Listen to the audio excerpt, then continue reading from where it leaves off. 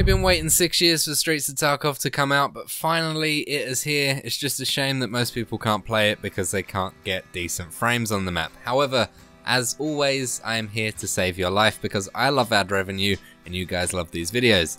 This is the settings guide for 0.13 of the settings that I use to improve my FPS, granting me a stable 100 FPS while playing Streets of Tarkov in an online match on my 3090 system and on my 1080 test system I was getting around 70 to 80 FPS which isn't half bad for Streets of Tarkov at all. Before heading into the actual game settings, I want to make this video as neat and tidy and quick and easy as possible. So if you haven't already, I've got an advanced optimization guide on the channel already, which still works perfectly for 0.13 even though it was made a few months ago now. So be sure to check that out if you haven't already. I'll link that in the description and on a card annotation on screen for you. But also, just as a quick reminder, make sure you've got your graphics drivers up to date and your latest Windows and security patches are done on your system as well. On top of this, you can turn on game mode by pressing the start button on your taskbar, typing game mode settings and turning that on. This used to be really really poor but now it's actually quite good and it'll optimize your system for gaming and disable unnecessary background processes while games are running. And on top of this, if you have a NVIDIA GPU, then you can open NVIDIA control panel by clicking on the little up arrow in the bottom right of your taskbar, right clicking on the NVIDIA icon and then clicking NVIDIA control panel. Once this is open, you can go to manage 3D settings, switch over to program settings, and in the drop down list you can select escape from Tarkov from this list. If it isn't there, you could just click add and add the program by the saved file location wherever the game is saved on your PC. And then once it's open, you'll be able to change a bunch of settings. All the settings you see on screen, the things in bold are the things that I've changed. I go into more detail in the advanced optimization settings guide on the channel, but basically this will just optimize your computer to make sure that when Escape from Tarkov is running, a bunch of different things are working in the background on your card to make the game run as optimal as possible. The main thing is selecting the right GPU, making sure systems are running properly when the game is running and making sure texture filtering and all that sort of stuff is turned on while the game is running and also threaded optimization is working properly through the graphics card itself. This actually will improve your performance more than you might think, so if you are interested in making the most out of your FPS then make sure you check out the video in the description because it really does go into a lot more detail and it will make your life a lot better when playing the game rather than just changing the settings. On top of this, we all know that Post Effects tanks about 5 to 10 FPS off of your system. If you can't afford to lose those 5 to 10 FPS and you've got a really bare bones system, then you can actually do NVIDIA filtering in here. It's not against any terms of service and you can change the brightness and vibrance and pretty basic settings through this actual NVIDIA control panel itself and you could just turn off post effects. It's all preference on what you choose on here, but make sure you have a fiddle around with it by clicking on adjust desktop color settings on the left hand side menu and you can change it all in here. You can also change the resolution of your monitor as well, just make sure that's set to your native resolution and at the highest refresh rate possible to avoid choppy frames while playing the game. Now if we go into the settings and click on the game tab up the top, you'll see that most things here are personal preference, whether you want the quick slots hiding or always shown and stamina and stance icons shown and all that sort of stuff. There's only two tick boxes that we really need to worry about here, automatic RAM cleaner and only use physical cores. I've got automatic RAM cleaner turned off because I have a high amount of RAM in my system. If you have 16GB or less, I'd recommend turning this on or finding a third party application that you can run in the background which automatically clears your RAM. A lot of third party applications actually do it better than the built-in one in Tarkov, but if you don't want to go through that hassle, you can turn it on directly in the game. Only use physical cores is a pretty interesting one as well. It'll basically allow your computer to not use any logical cores. If your computer is switching between physical and logical cores, it can cause stuttering while playing the game. And if you've got a CPU that does hyperthreading, you're going to want to make sure that the core count is purely physical to get smoother frames possible. As for FOV and head bobbing etc that's all personal preference but I choose max FOV to see more around me rather than seeing things slightly enlarged in the middle of my screen. Moving on to the game tab now, there are quite a lot of settings in here that have changed since the last time we made a video on this. The main thing you're going to want to check here though is your screen resolution is on your native resolution, your screen mode is set to full screen to make sure it's smooth and there's no input latency, your aspect ratio is set to your monitor's 16 by 9 or 16 by 10 and you've got your overall graphics quality set to low because that requires you to change the least when you're actually going through the individual settings, but it will change to custom by default when we start changing them below. So the first thing you're going to want to do, for me I use texture quality as high, but if you've got a quite a low poor system, then I would switch that to medium. That's what I had to do on my 1080 test system, but for my main PC I use high.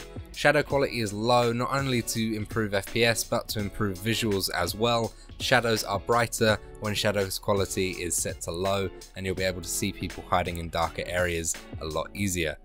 Object level of distance quality is set to 2.5, any higher than this is pointless, but any lower and your screen will start to look pretty jarring with pop-in and it just doesn't play for a good experience. Overall visibility I've set to 1500, no map is really large enough to have it any higher than this, you won't be seeing anything extra by turning this up, it will just be tanking the FPS. You can turn this down to 1000 and you still won't experience any issues, but 1500 gives you a little bit of clarity during foggy weather as well, which is quite nice to have.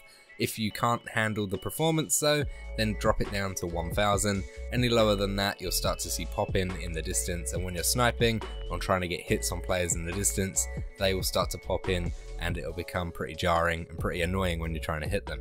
Anti-aliasing is going to smooth out edges, so I've got this set to TAA high. Any other setting just doesn't look as good in my opinion, and it does improve your performance quite a bit by having this on compared to other settings in this drop down list.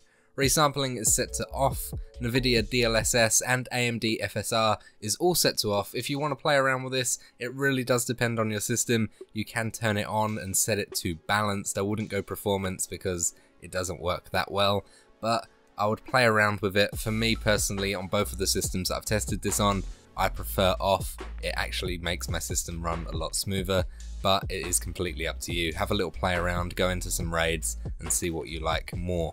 HBAO is set to high performance, and SSR, which is screen space reflections, that's all like the water reflections and window reflections, etc. That's set to low. Any higher than that, yeah, sure, your game looks better, but you will get a tank in your performance, and that isn't good because it does tank quite a bit. But the reason I don't have it off completely is because you can actually use the reflections to your advantage and see people a lot easier either in reflections of water or you can see them through windows a little bit easier during foggy weather as well. Anisotropic filtering is set to per texture. This works quite well to define edges and make things a little bit more sharper. You can see people a lot easier, but having it on for everything is pretty pointless and it'll tank your frames. Having it set to per texture doesn't really take a hit in your performance, but you will see things a lot clearer and you'll notice a slight more vibrance in player models against backgrounds of surfaces as well, so you can see them a little bit easier. Now you can use your NVIDIA Reflex Low Latency. I've got this set to on and boost. It's always a good thing to have. It's explained a lot better in other videos that go into more technicality about NVIDIA Reflex Low Latency, but it will reduce your system's input latency basically. So setting this to on and boost doesn't have an effect in your performance at all, but you will see a reduction in your input latency when you are fighting either AI or other players, so it's worth having this on.